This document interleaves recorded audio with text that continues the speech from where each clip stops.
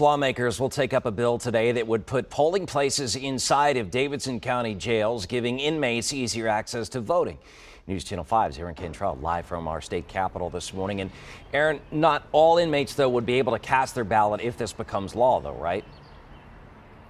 Right, Ben. So under Tennessee law, a felony conviction requires you to lose your right to vote. Now, you can earn that right back depending on what you're charged with. But this is bill is for those folks who are behind bars and do not have a felony. And this will be a collaborative effort if it became law. And only a resident of Davidson County in custody at a county jail would be eligible to vote at one of these satellite voting locations. Now, the jail will be required to provide a voter registration application to any person in custody who requests it and if they determine they're eligible to vote, they would also be required to make available resources containing information regarding the voting rights of a person with a criminal conviction in print. And to pay for this, money would come from the county to cover the expense of poll workers and for the equipment.